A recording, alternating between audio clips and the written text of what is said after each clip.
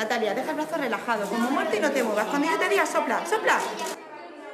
Estos han sido de los primeros niños en vacunarse contra el coronavirus, algunos acompañados por un familiar. Ahora deben esperar ocho semanas para la segunda inyección. En total, 159 centros educativos de la comunidad valenciana ya han recibido la primera dosis. Iniciaremos la campaña de vacunación en los, en los coles, en los centros educativos, en dos fases. Una primera fase antes de las vacaciones de Navidad, donde vacunaremos a los niños de 11, 10 eh, y 9, y en la segunda fase, después de las vacaciones de Navidad, los niños que van desde los 8 hasta los 5 años. Todos recibirán la vacuna de Pfizer adaptada. Eso sí, hay requisito la entrega al centro de una autorización previa por parte de los padres o tutores. Sus dosis contienen un tercio de la que se ha administrado a adultos. La campaña avanza con un ritmo muy veloz. Necesitamos un minuto por niño, más o menos, o sea que, que rápido. Rápida y exitosa porque las cifras de inmunización en esta etapa son muy altas. Pues hemos tenido un 72% aquí hoy, también pensad que hay gente que ya está de viaje por las fechas que son y estas cosas, eh, pero yo estoy segura que en, que en la segunda vuelta, una vez que se termine con el proceso, habrá más gente que se vacune.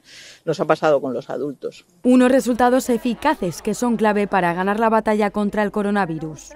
Parte del éxito corresponde al personal facultativo, enfermería y apoyo logístico que se desplaza a los centros educativos.